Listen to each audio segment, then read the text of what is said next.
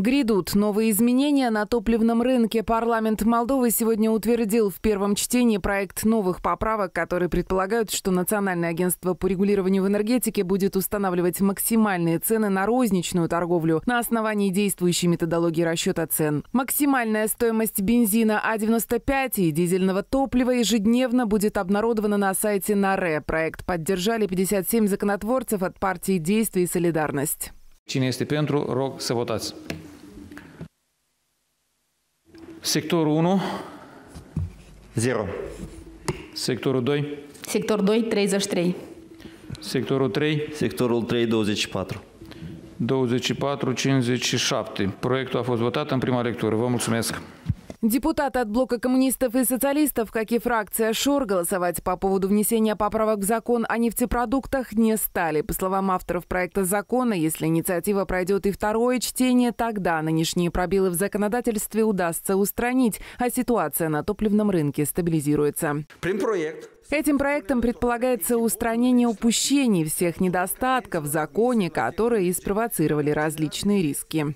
Также проект поправок предполагает, что в случае необходимости Национальное агентство по регулированию в энергетике сможет вносить корректировки в маржу. По мнению авторов законопроекта, как следствие, оптовая торговля нефтепродуктами станет свободной, а с розничной продажи бензина, дизеля и сжиженного газа не возникнет проблем. Так мы сможем устранить серьезное упущение. Когда утверждали предыдущие поправки, никто не проанализировал вероятные последствия. Удастся побороть дефицит продукции, а сельхозпроизводителям и транспортникам это позволит закупать топливо по правильным ценам, поскольку максимальные цены не коснутся оптовиков. Также мы аннулируем обязательный капитал размером 8 миллионов леев, а также сократим обязательный объем хранения горючего с 5 тысяч кубометров до 1 тысячи. Торговля другими видами топлива будет разрешена только при условии, что на АЗС будут продавать и стандартный тип продукции, для которой будут регулироваться максимальные розничные цены. На пленуме присутствовал и директор НАРЭ Евгений Карпов. По его словам, агентство поддерживает необходимость внесения поправок.